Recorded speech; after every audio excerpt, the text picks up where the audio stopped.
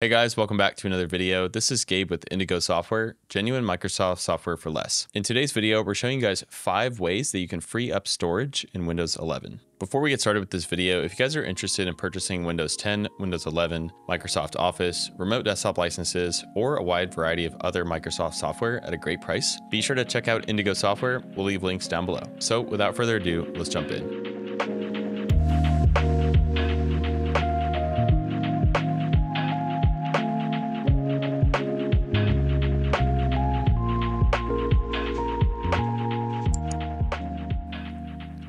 All right, guys, we're going to start with Storage Sense, and this is a feature of Windows 11 that's going to help us to keep on top of removing unused or unwanted files.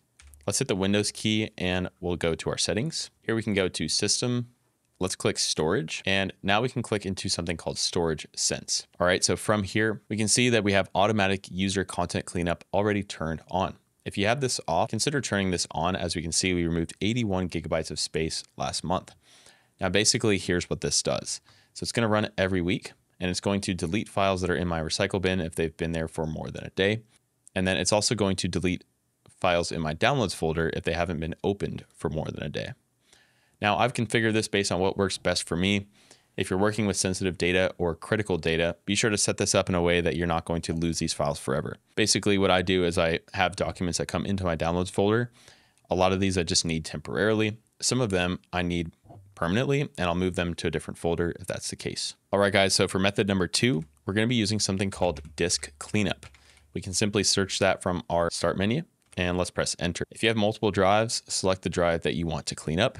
I'm going to do the C drive, which is my local drive. Now, this is going to give us a breakdown of different temporary or program files that are no longer needed. And in some cases, this may be taking up a lot of space. As we can see, I'm only going to gain a few hundred megabytes. And so for me, this isn't worth it right now. But if these are well into the gigabytes, you can select these and hit cleanup system file. So let's hit that. And that's an easy way to go ahead and free up some space. And our next tip is to uninstall unused applications. Let's do Windows key and I together. And I'm gonna click into apps. Let's click installed apps. If you have a lot of apps that are sitting around and let's say you haven't used them in a long time, as we can see, it can quickly add up in terms of how much space it's consuming. So the recommendation here is just to make sure that if you're not using certain applications or video games, going in and removing those and deleting them. And maybe if you decide you need them again, you can reinstall. All right, guys, the next tip is to move your files. And so I'll show you guys a little bit about how I do this. All right, so what I do is I have this entire drive, which is almost four terabytes.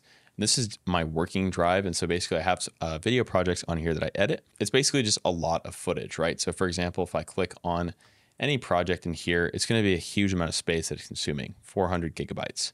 So what I do is once I'm complete with this project, or let's say I don't have to access this project for a long time, I'm simply going to plug in an external hard drive that I have, and I'm going to copy it to that. And then once it's copied to that, I actually make two copies of it. And then I go ahead and delete this from my computer drive.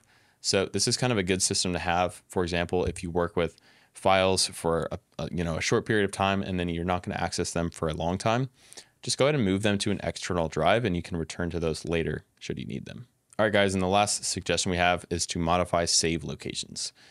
So changing where new content is saved is going to be helpful in reducing your overall local storage consumption. For example, saving your Office documents to OneDrive. So doing some kind of cloud storage like that, or instead of saving your photos to your Photos app, maybe put those in a different folder and then you offload those to, again, some sort of external drive or to the cloud.